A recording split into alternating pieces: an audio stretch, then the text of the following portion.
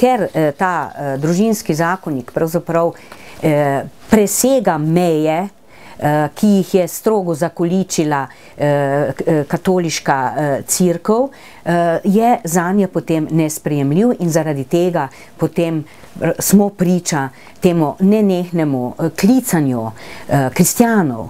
Eh, Ne, eh, eh, ampak To klicanje kristijanov k boju zoper družinski zakonik eh, pa v bistvu temelji na poudarjanju nekega ideala, eh, med tem, ko se pripisuje tistim, ki hočejo ohraniti pravice, kakor da so nemoralni, razvratni, eh, ne, spoštujejo ničesar in tako naprej. Skratka, vodijo dobesedno v uničenje sveta po njihovih definicijah in zaradi tega je treba biti čim bolj goreč in tako naprej. Torej, če bi zmagala volja katoliške cerkve, bi se bistveno zmanjšala ali pa celo ukinila svoboda odločanja tako o rojstvu otrok kot o sklepanju kakršnih koli življenjskih skupnosti.